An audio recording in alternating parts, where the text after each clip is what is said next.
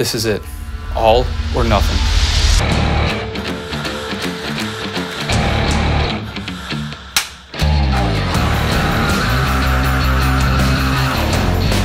So my name is Mark Poletti. I'm 29, originally from Philadelphia, uh, Pennsylvania. I moved to Los Angeles in 2011 and been doing martial arts for like almost 11 years now. And uh, I'm an actor.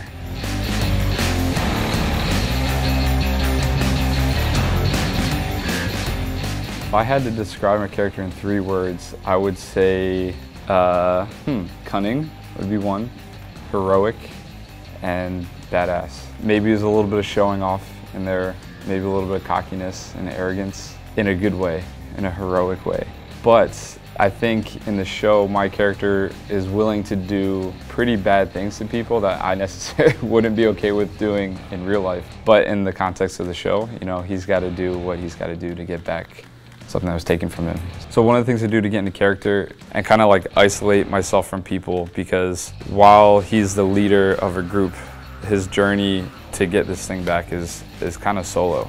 One of the biggest challenges we have on Run is fight choreography. In film, you can hide things. You can cheat angles, you can cheat distance. On stage, your camera is fixed because it's the audience. There's a lot more, we call it positive contact, where we're actually physically connecting with the other performers. And with a show that is essentially a oner from film, we start and then we finish. There's no cuts and in between. All the action's got to be like on point. There's a lot of communication that needs to happen. And on a show where there's a lot of stunts, there's a lot of fire, falling, fighting. There's a lot going on and if we're not super open in our communication, I think we're gonna have a rough time. Luckily, everybody's very cool with communicating, so it's been pretty nice, but it's still one of the biggest challenges I think we have, especially going into rehearsals.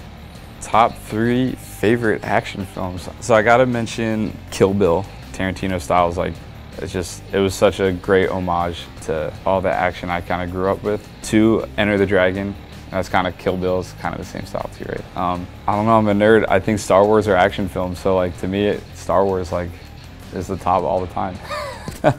so my artistic background is through martial arts. Uh, originally I started with gymnastics um, when I was 19, so I started pretty late in the game, especially compared to most cirque artists, I think. Started martial arts through a camp in California. I went back to Pennsylvania, you know, was going to college, found another martial art place, and eventually it led me back to California, um, training with Philip Sahagin at uh, South Coast Martial Arts. He's been my main teacher for almost 10 years, and I've had other teachers here and there. And then through doing martial arts, I found the stunt community, and within the stunt community led me to acting.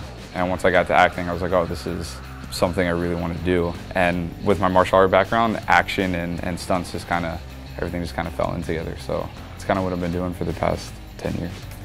One of the biggest things that attracted me to this project was an acting role with a heavy emphasis on action.